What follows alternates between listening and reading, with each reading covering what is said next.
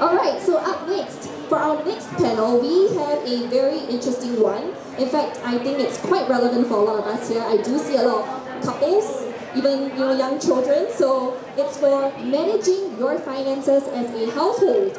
So that's our next panel, and it will cover, you know, should couples have shared finances? How much should each person contribute to family expenses?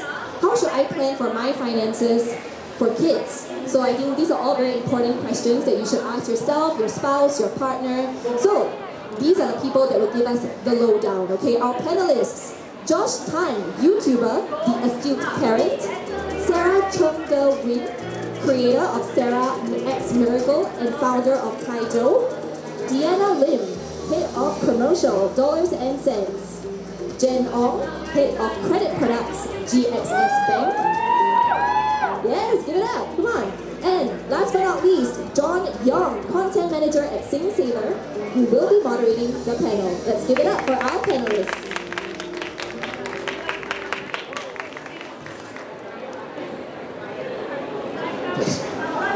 Good morning everyone, my name is John and I'm a content manager from SingSaver. We have a very exciting panel lined up for you today where we will discuss the importance of managing finances as a household. Those of you in the crowd here who are married or thinking of settling down, I'm sure you all can agree that being aligned financially with your partner is a very important aspect of any relationship. I want you to ask yourself this question. Would you be happy in a relationship if you are constantly being made to spend beyond your means? Realistically, would you be happy in the long run? It could lead to uh, financial conflicts in the future. Here's another example. How many of you in the crowd here think spending $500 on a date is too much? Raise your hands, $500 is too much. If you, ask, if you answer yes, okay, this is exactly the same as investing.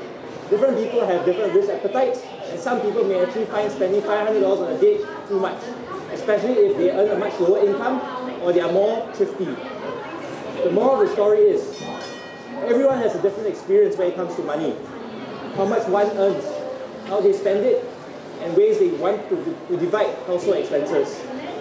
Depending on their financial situation, their upbringing, a couple's financial views may not align at first. Which is why it's important for couples to communicate on these matters early and decide on what best works for them. Only through transparency and understanding can couples align and achieve financial goals together. To address this topic today, we have brought together a panel of experts each bringing their own unique perspective on financial management. Together, we will tackle questions like, should couples have shared finances? How should couples split household bills? And ways, of, ways to plan their finances for their kids. At the end of this panel, we hope everyone here will walk away with some key insights, allowing you to be more accountable for your finances as a couple. Let's kick things off with our first topic. Should couples have shared finances? Research actually has shown that couples with joint accounts are happier together, boasting greater relationship satisfaction as they will be working towards a shared goal.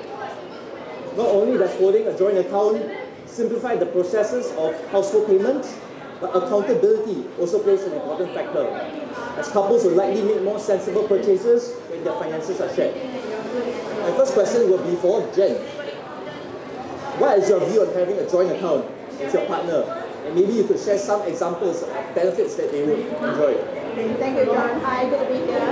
Um, I've been married more than 20 years, so if I look back at how we have been managing household expenses, to my mind, joint account does work. So we started very early in, the process. So when we got married, we wanted to make sure that there is a pot of money to take care of household expenses. So we think about household expenses, utilities, your groceries and all. So we, when started, we said that, you know, why each put a percentage of our salary into the pocket? Because it's a bit unfair to say that, you know, we want an absolute amount because when we both started, salary base was different. So we started between 15 to 20% contribution to the joint account that we have. So it's like a pocket that we have. And from there, we use that for utilities and groceries. Now, after 20 years, I realized that this joint account actually evolved as it helps with the different life stages that we're in. You know, when you have children, you will start thinking about tuition fees, education, and then when you have extra, then it comes in for year-end holidays for your family. So to me, joint account makes sense. Um, but if you ask me, I think a bit of independence is also important. Um, to give you financial uh, freedom, so maybe on the side you should also have something on your own. That, that is just something that um, our believes. Thank you so much for sharing. Uh, Deanna, what are your thoughts on this? Uh, perhaps you can share a different perspective on couples counselling as well. Yeah, interestingly, I think the concept is the same. Um, we, my husband and I, we um, do look at it from a joint perspective, but really, really need joint account. We really need to uh, putting our pets as a couple. So I, I guess at the end of the day, um, what we do is um, having our separate accounts, but for different reasons. So having a joint account is a good tool for couples to probably, I always see that um, the products out there, whether it's single accounts or joint accounts, um, is a way for couples to bring it up and discuss, like um, how should we structure our finances together, and there are all these things uh, available. And at the end of the day, it's about comfort level as well. So Tim and I, we see um, joint account is uh, the same, um, just that we have a separate account for different purposes, like uh, groceries, expenses and stuff will be on my board, and then the long-term um, stuff like mortgages we do on this as well. So we don't really need a joint account to do it, but the concept is basically. And then we need to think about interest rates and stuff as well. Does it make sense to have joint accounts or separate accounts? Um, but at the end of the day, it's a concept. So if um, you are not too sure yet, uh, you can always start with joint account and uh, work it out as a couple. And I mean, you've been doing it for like 20 years? Yeah, and it worked for you. Yeah, yeah, yeah. Yeah, so the concept matters more actually. Thank you so much for sharing. Uh, maybe you can hear from Josh.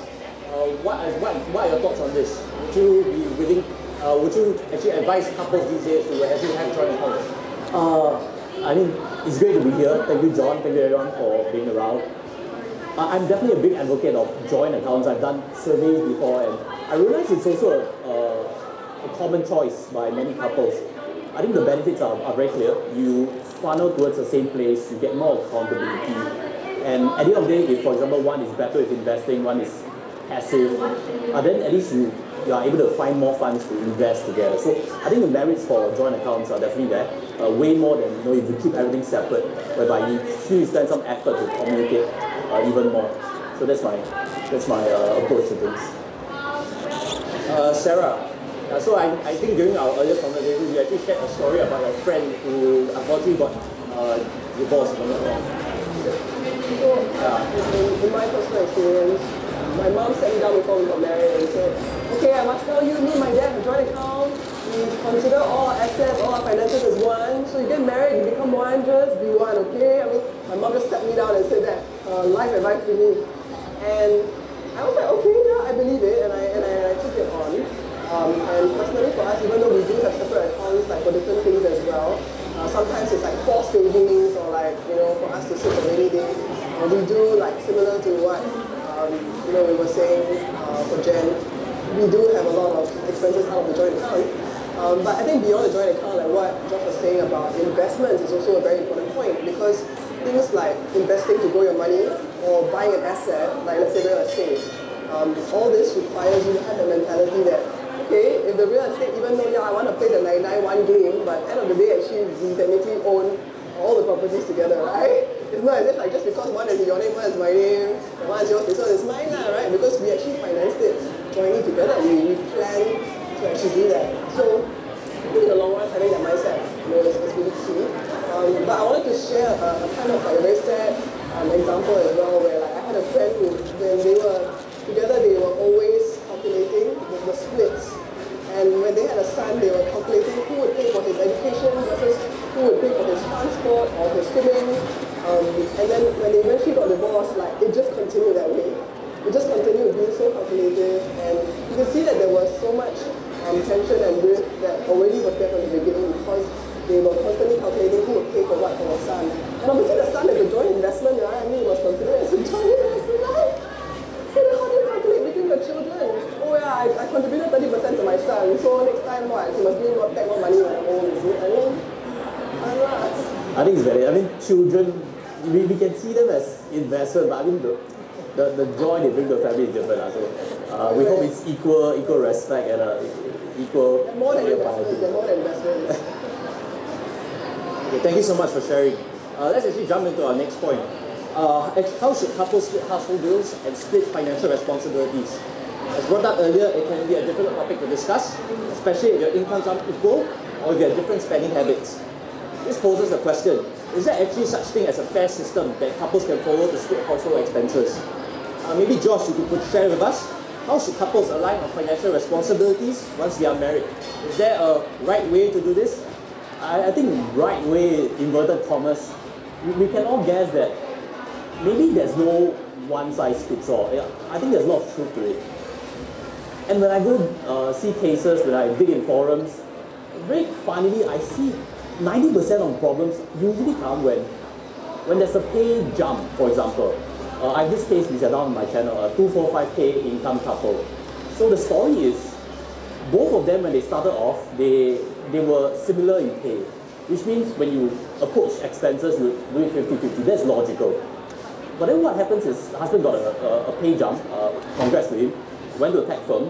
Uh, then I think there's a gap in terms of the income already. And maybe the wife was hoping that he, he contributes more and that's where the friction started coming. So I think the moral story is, you know, uh, there's no one size fits all and you, you really need to evolve the way you, you contribute also. Previously 50-50, in future it could change. Let's be dynamic about it. And I think one point also uh, that I I was always thinking on their shoes is they should be a bit more generous, be a bit more open to sharing how they feel. Hey, you're earning more now, should you contribute now rather than holding that grudge and going to forums to complain and Uncle Josh fix it up and I do a case study on it unfortunately. Uh, but also for the guy, I also maybe uh, yeah, take the initiative, open up the topic, uh, prevent prevent uh, this kind of uh, resentment. Then uh, you know you sidestep a lot of these problems. So I would think there's no one size fits all. It's true, and the, key part is is dynamic. Fine, keep fine tuning it through communication. Thank you so much for sharing. Uh, Jenn, so let's say if a couple, uh, they do not have or they didn't earn the same amount, how actually would you recommend to actually split household expenses if let's say one party were to earn more than the other? Yeah, so, so this is exactly what happened, right? Not everybody start off with the same thing. That's the reason why in our household we went by percentage, right? If if you're earning $3,000, I say you contribute 15%. The husband is earning 6000 he contributes 15%. Then, then when that goes in, it's a bit fair from a disposable income perspective, where you put the money in. And then that's why, to my mind, the joint account covers everything that runs the household, right? So from, like I said, from the groceries to your insurance for your children to the endowment plan. And, and that is for the household. Then again, if you talk about life cannot be too calculated, right? So we can't be saying that, okay, it's my turn to buy, I'll bring you to a hawker center. Then my husband's turn to buy, maybe I'll go to a restaurant. I mean, it, it takes two to come in together to then decide. So again, I agree with Josh, there's no one size fit all, but it's very important to manage expectation from the onset. When two two people come together in life. I think if the relationship is strong, there may not be a situation like this where you become calculated. So yeah, uh, it be fluid. Alright, thank you so much for sharing. Uh, okay, let's move on to our last uh, question for today. Uh, let's discuss ways to actually plan your finances for your kids. Uh, starting a family is obviously a challenging task, especially for first-time parents. And as we all know, raising children in Singapore is a very expensive affair. From hospitalization and doctor fees to daily necessities for kids, uh, it can actually put a very substantial financial strain on the couple. Uh, there's also obviously a need to plan for their education in the future and any extracurricular activities. So what is some advice you actually can offer to uh, couples who are trying for a baby right now? And maybe uh, what are some steps that you need to identify in order to be sure that they are financially ready for a child? Um, let's maybe hear from Sarah. What advice actually would you offer to couples these days? Whatever budget between you times extra 30% please. Um, reason why is that there are a lot of things that happen to your children that you will never expect. So for example, my two boys got sick last two weeks. I'm also actually a bit slowed down with this. I catch the flu from them. And uh, bringing them to see the pediatrician because you know, if I'm not see a GP, they go, uh, okay, after one week go to the pediatrician. The pediatrician visit already costs like 500 bucks. By the way, it's 150 for the first consult, 100 for every subsequent consult. It's only 5 minutes. But then the Pulmicort steroid uh, thing costs $100 for one box. Okay, I'm just giving you an example. So whatever you think you need, you need 30% more. So please, um, contingency plan for the children, that's number one. I think the second thing um, that, that, that I, I did for my older daughter is that I, I definitely started on an endowment plan for her when she was quite young. Um, just, even though like, we were very young but our story is that, you know, I, I, was, I was like a teen mom, got married very early, and I had very little money when we were young, but I just felt like I knew I wanted to save my daughter's education. And two years old, I opened an endowment account, and I only put in $2,000 a year. I'm just telling you, honestly, I only put in $2,000 a year ever since she was two years old. It was a 17-year savings plan. She's only 17 this year. Only this year, I'll have been, I would have paid only actually 34000 which is not a lot of money by the way. But the plan is return me about $60,000. Supposed to be, supposed to be, supposed to be. So even though at that point I was, you know, I was like really young, man. I'm like 20, I'm 20 years old.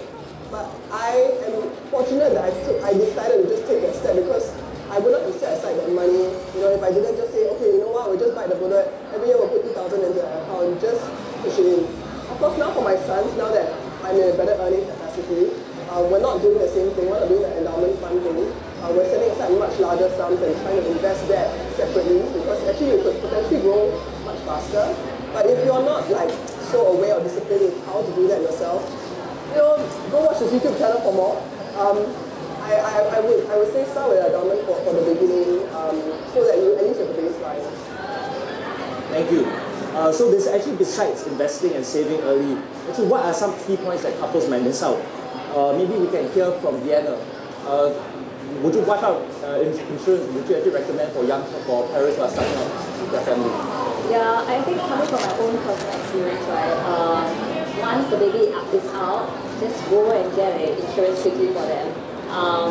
Because um, they fall sick easily and the hospitalization fee is no joke. I mean like uh, my first kid went to the hospital at six months. And thankfully, you know, we got everything all settled, um, nothing, no complications and stuff, and they recovered. I think with kids, um, we often need to with health issues and stuff, we also want to make sure that we can cater to them. We can't be like, oh, because of budget issues and then I can't send them see a doctor or some treatment that we have. So I think having enough savings, insurance, um, you need to make sure you protect and plan ahead for your family. Lah. So uh, for child insurance, you should always go, go read up dollars and sense articles. Uh, we've covered a lot about what kind of like needs, that basic needs that you need for your kids. Yeah, I think we are running short. uh, unfortunately, I think we are actually uh, at, uh, that's all the time we have today. But actually, before we conclude our panel, uh, could we just have everyone here uh, share one key piece of advice that actually couples can take away to better manage their finances? Know, Bailey, let's start with Josh. I think getting a good sense of uh, your budgets right now is very important. Uh, when a kid comes on board, we've covered a lot of topics that expenses are going to step, step out. You need 30% extra, unforeseen. Uh, we've talked about medical insurance. I know if you've seen before the premium tables, you realize that kids 0 to 3 years old is more expensive than someone who's 4 years old. That tells you that medical expenses are ex very expensive for young kids because they, they fall sick, parents bring them to hospitals. So the, the part whereby we underestimate how much cost kids come about uh, is very real. Uh, you'd see more doctor's visits than, than usual. And uh, if you're a new parent, uh, really tighten up and check on your, on your budgets right now. If you're able to save massive amounts, do that now.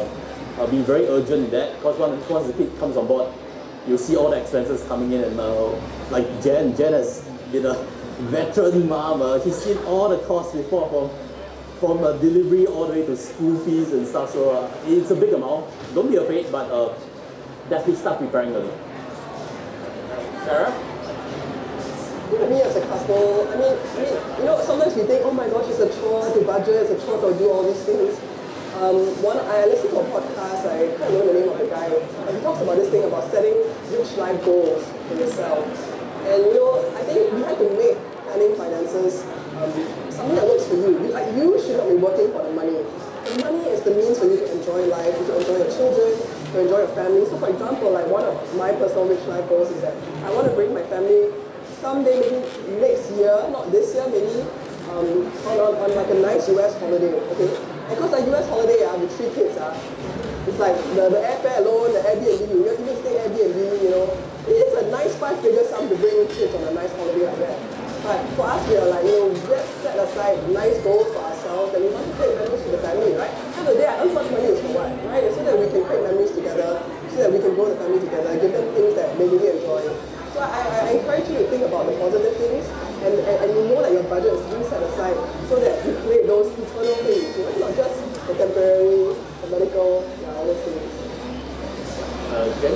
I'll do a quick one. Um, to me, plan early. It's very important to plan early. I mean, once you have set a little nest for yourself and the family to come, it's, it's easier to manage. So it doesn't become a chore. Um, children are expensive, but they're also a joy. Um, it's also expectation. How you, what school you want to put them, how you, how you want to raise them. And make sure that you review the financial status with your partner every two years. That's what we do. Two years. That, that's Two years. Two years, one or two years, yeah, yeah, yeah. I think reviewing your finances as a couple is important. Um, I, I want to actually emphasize more on transparency as well. Um, so the more transparent you are with like your goals and what you expect, I think it allows um, individual to actually understand, oh, okay, maybe we should do one big holiday together. Let's save towards it. And, and it's not just about like sleeping out, putting money in there, expenses, kids. It, it feels like a chore, but um, I think when you match up your expectations, being very transparent with your expectations, um, you will enjoy actually co-piloting with your your other half actually. Um, investment might be very um, complicated for some, but you can border a little bit, but uh, just don't get your hands off totally. I think you should still be involved and plan it together with your other half. Yeah, so that's how to keep yourself transparent. Thank you so much. Uh, with that said, we have actually come to the end of our panel. Uh, please join me in thanking our panelists for sharing their expertise on this subject today. Uh, if you have any follow-up questions, uh, please feel free to approach them for a chat or post them on the Seedly Community Forum. Thank you and enjoy the rest of the Seedly Personal Finance Festival.